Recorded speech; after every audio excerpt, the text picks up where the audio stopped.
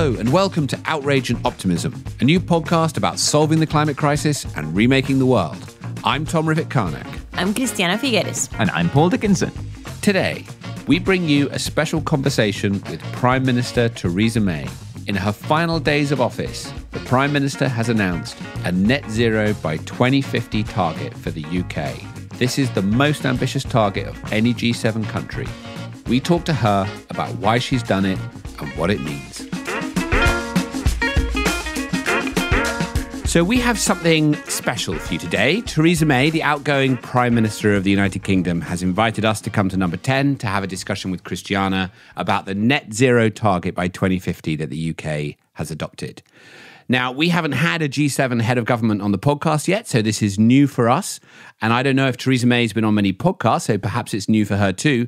But I thought what we might do at the top end is just spend a few minutes talking about the target itself, what the missing pieces are, so that we can understand it better. So, just to set the scene here, it is undeniable that this is ambitious by international standards. It's true that other countries like Costa Rica and Finland have set targets like this, but the UK is the first G7 country to do so and by far the largest economy.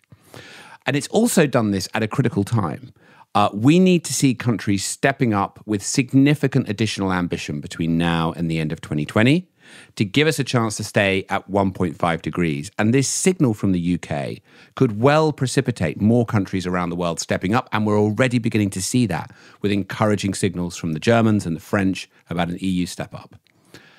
On the other hand, lots of commentators in the UK that I've been looking at have been saying, yes, well, okay, but Aviation and shipping are not included in the UK target, and the UK has also introduced a measure to say that unless other countries follow suit, then they will not be bound by these commitments. And anyway, the UK is not on target to hit its ambition in 2023. So I think the place we should start before we go into this conversation with the Prime Minister is what do we think about this net zero goal? Well, if I if I can jump in here, there are many things to be said about this, but uh, I, I would like to start with the historical symbolism of this. It is the UK where uh, the Industrial Revolution was born. If there is a country that built itself up on coal, it is the UK. And uh, so the fact that uh, the UK has now managed to substantially, dramatically, I would say, bring down its dependence on coal, but not only that, to be the first G7 country, as you say, to commit itself on a legal basis, uh, legally binding basis to a goal of carbon neutrality by 2050, thereby, I would say, leading certainly industrialized countries into a new era of clean energy, I think is very, very uh, historically important. It's incredibly exciting. Um, you know, the, the UK actually has far far more really large companies than you might think. It's uh, you know the, the the UK the FTSE 100 they're huge global companies. Here, government's giving a real signal and lending its name, and I think it will encourage business to follow and lend their names. Uh, it, it's clear intent that we're going to be you know net zero by by 2050. Now. Uh, does we mean are we going to definitely going to deliver on that well you know the future is to some extent unpredictable but it's like committing to giving up smoking or something the commitment is an important mm. first step and it changes the whole way you think about what you're doing from that point onwards you know the the big change for the UK is moving from 80% to 100% of uh, right. cutting emissions uh, because that's what the UK had before before June uh, June 11th. So um, I think that is important, not just because it ups 20%, but rather because there is a psychological, very predictable psychological effect that if it's 80%, then you can predict that many people, corporations, cities, etc., will want to squeeze into the 20%. That is not mm. um, that mm. that is not yeah. uh, a reduction, uh, and so by going to hundred percent, that sends a very very strong signal that there is actually no exception.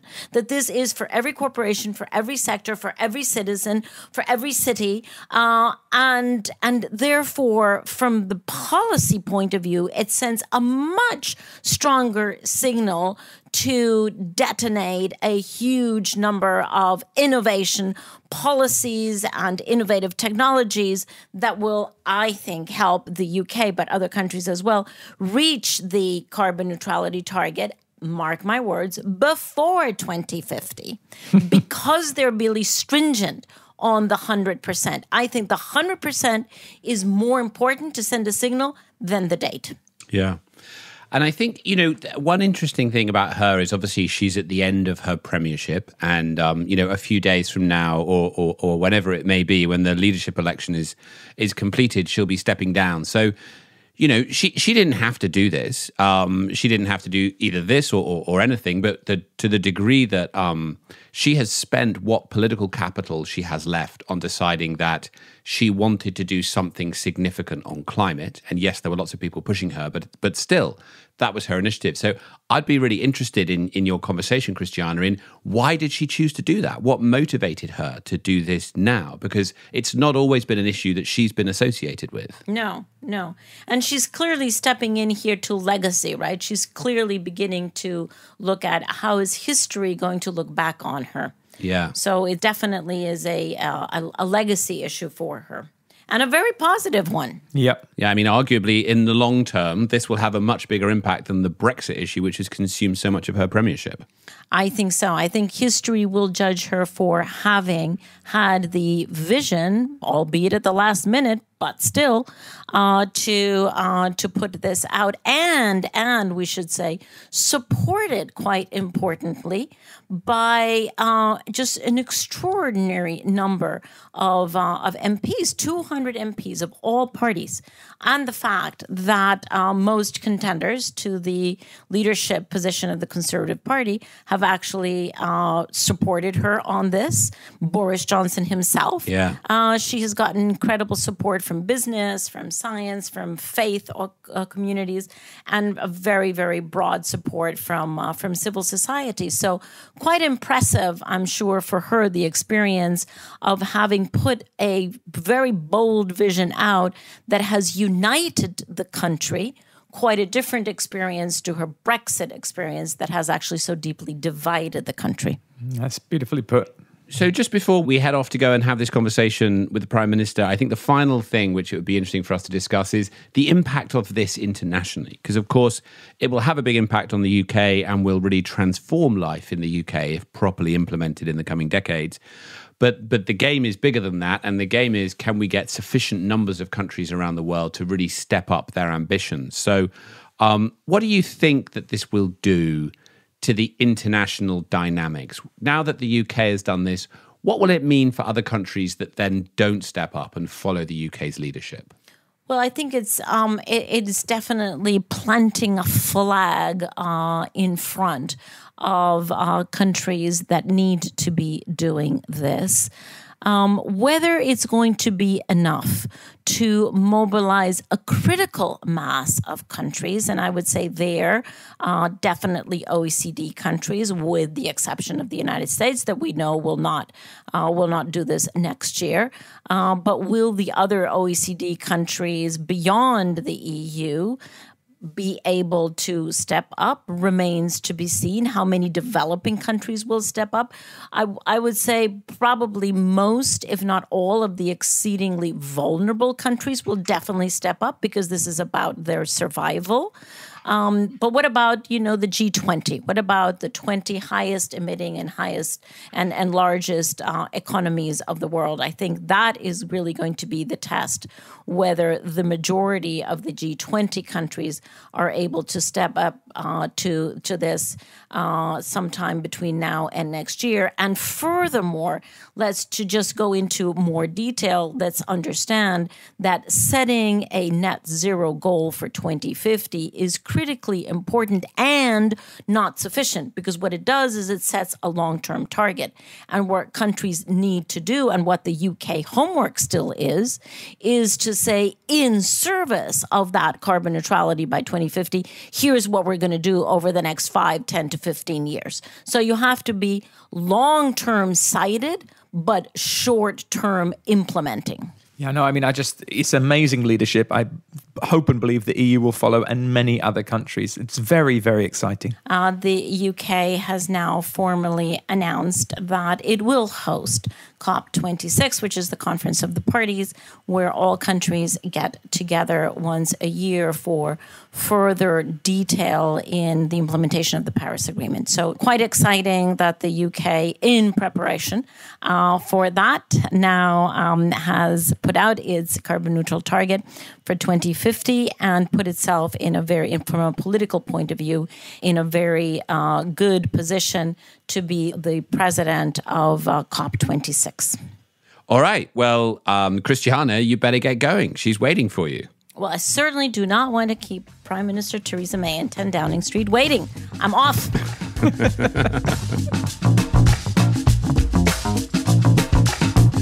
Thank you so, so much for joining us, Prime Minister, and welcome to uh, Outrage and Optimism.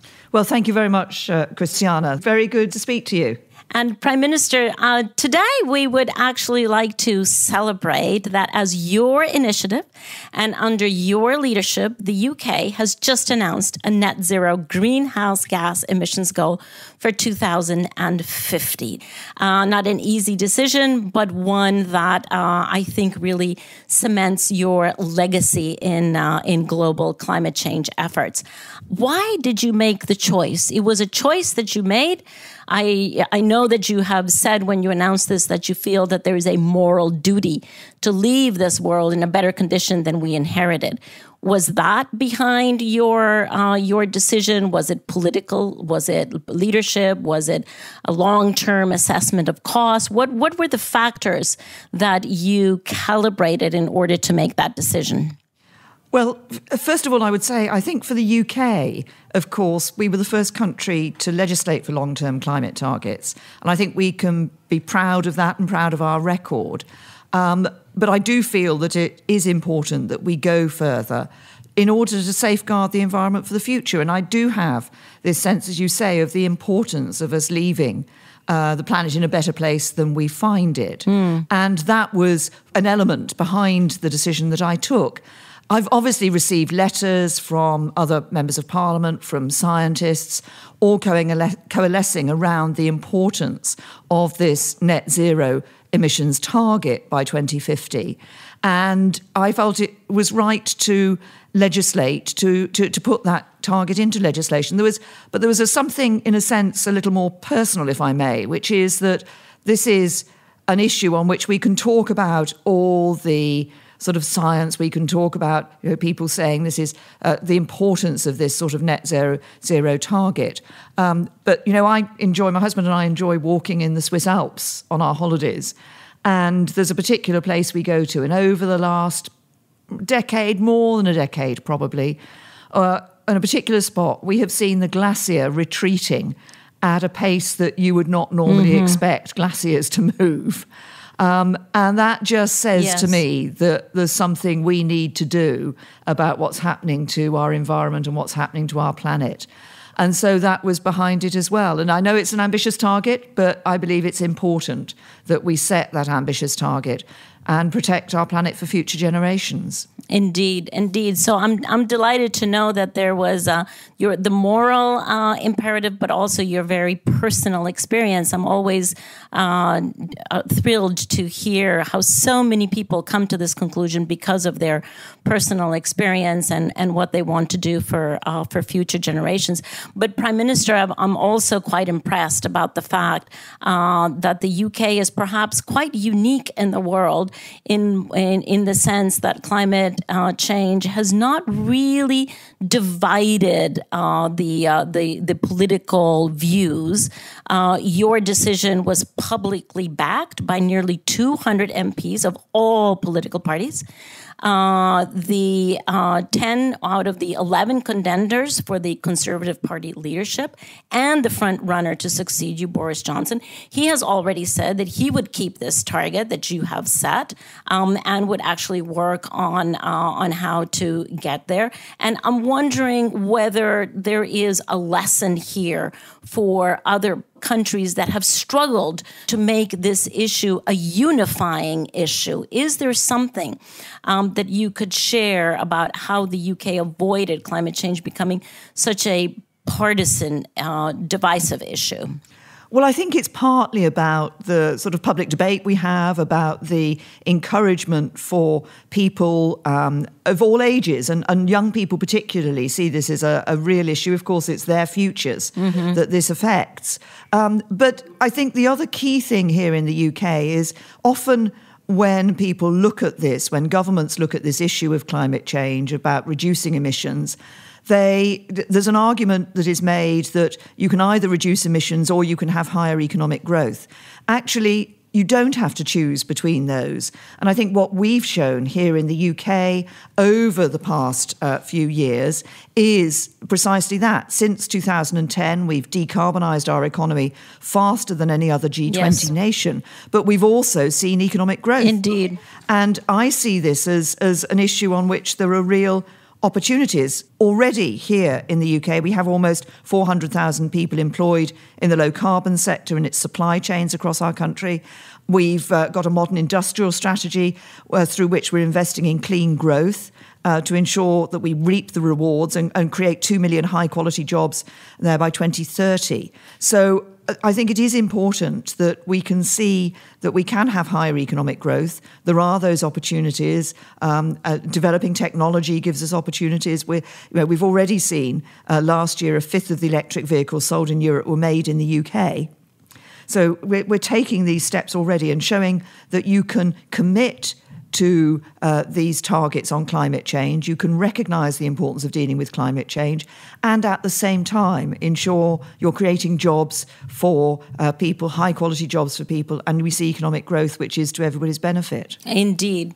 Indeed, it's quite a change of paradigm from where we were uh, a few years ago, but it's a critical change of paradigm and of understanding how decarbonizing the economy can be such a, a good motor for uh, for job creation, for for better city livability. To to mention air pollution, uh, where the UK has done so much to clean up uh, its air, and uh, the UK is the first G7 country to set this ambitious goal. We have other countries such as Norway and Finland and Chile and my own little tiny little Costa Rica that has set uh, ambitious goals. But the UK is the first G7 country, which is quite remarkable. Was that also part of your choice to certainly do the right thing by UK citizens and by UK future generations, but also to have implications for, for the EU and for other OECD countries? Well, of course, if we're going to deal with climate change, actually it has to be something that's addressed as a global issue, and other countries do need to increase their ambition as well. Um, and certainly, um, I would like to think that the UK taking this step, I would hope that the UK taking this step would encourage other countries to take the step too uh, and to recognise the importance of the, this issue and of embracing this, this target. And we certainly expect, and we fully expect our international partners to follow our lead. I, I, think, as you say, we're already seeing encouraging signs of this, including from France and uh, and from Germany.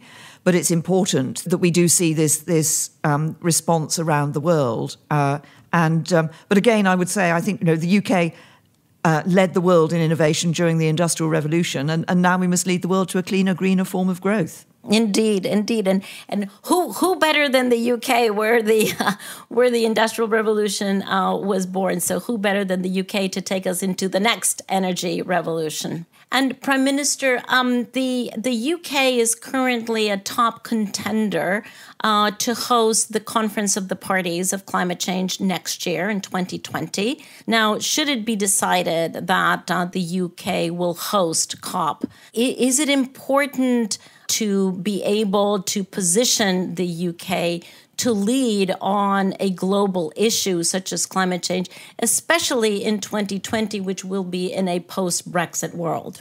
Well, you're absolutely right. I mean, we've announced today that we're bidding in partner, actually in partnership with Italy, to host COP26 in 2020. But I think this will be an opportunity to demonstrate continuing European leadership on climate change and, and to work together on this issue of shared concern. Um, what I would say is every year is critical in this in this work we're doing in relation to climate change. So we need to continue to raise our sights in order to deliver on, on the promise of the 2015 Paris Agreement, which of course, Christiana, you were so uh, instrumental in uh, in delivering. And uh, if we're going to do what I talked about earlier, protecting the planet for our children, for future generations, this is so important. And under the bid that we're putting together, this joint bid, the UK would host the COP summit and coordinate the overall agenda, and Italy would host preparatory events, including the pre COP programme. I think we as the UK have a reputation for effective diplomacy, a record for hosting successful international events, um, including last year's Commonwealth Heads of Government Summit, which also drove progress on a number of environmental issues. And we're committed to ensuring that COP26 is a success. And I think uh, in that we can show not only our own commitment in relation to climate change issues, but hopefully bringing others together and uh, raising everybody's sights on how we can deliver on the agenda that's been set. Indeed. Um, and Prime Minister, I just wanted to ask you one more question. Um, and there, I wanted to invite you to jump into the future with your imagination. Uh, it's currently 2019, but uh, what will British citizens in the year 2030, 2040? Uh, what will the adults uh, uh, in that time period? How would you like them to look uh, back at the year 2019 at British leadership on this, or in fact on the on the on the world's challenge uh, that we have now to move forward? How how would you like them to remember this very um, important moment in history for the UK? Well, first of all, I, I hope that they will be proud of this important moment and uh, be able to look back on it and say that it was the UK that was the first major economy to take this step and showed others the importance of it and that others had, had followed. I hope in a day to day sense, people will be able to see that there are, as, as I mentioned earlier, you know, high quality jobs that have been created through the uh, work we've been doing in investing in clean growth. Um, we're ending the sale of conventional new diesel and petrol cars and vans by 2040 with our Road to Zero strategy. So they would see that as well in terms of a, um, something practically that had uh, been delivered. Um, I, just as a wider sense, we're also, we've uh, set out a 25 year environmental plan to promote protect biodiversity, to promote sustainability, I think they would see those things coming through too. And uh, obviously, in people's day to day lives, they will see a difference. I mean, if, you know, some of the things that we do today, such as um, some of the energy we use, we're going to have to uh, see a difference in that in the future. But what I hope most of all is people would look back and say, that was a step that the UK government took. It was the right thing to do. We're proud of it because we're going to see a better world in the future. Fantastic, brilliant. Prime Minister, thank you so, so much for your leadership on this issue. Thank you for your vision and thank you for setting a bold target that is, I think, going to mobilize uh, UK citizens as well as European and abroad.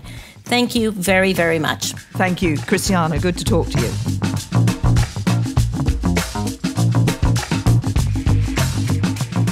So that was a fascinating experience to to listen to that conversation. Christiana, what do you leave that with? Well, I, I was grateful that um, Prime Minister Theresa May was uh, willing to share with us uh, some of the reasons uh, behind her decision.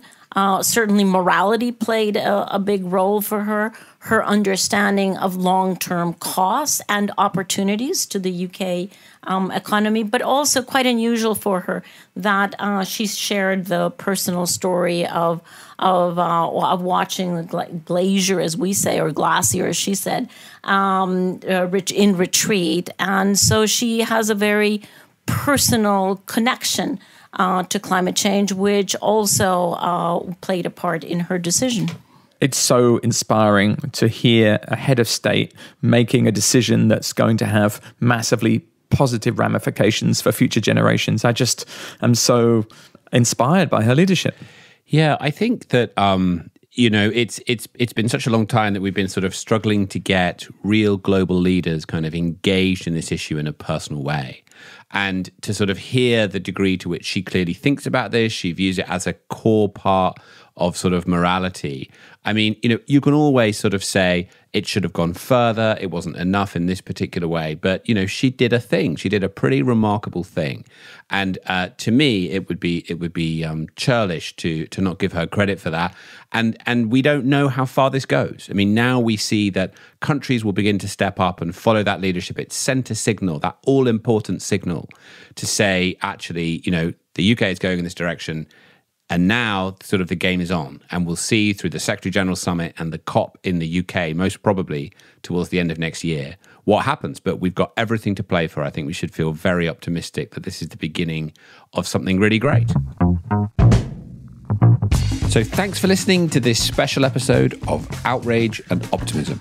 We are delighted that so many of you are listening to the podcast and seem to be enjoying it, but please do remember to leave us a rating. It makes a huge difference. Just go to Apple Podcasts and rate us using the starred system. It takes one second and makes a huge amount of difference as we try to keep building the momentum with this new thing.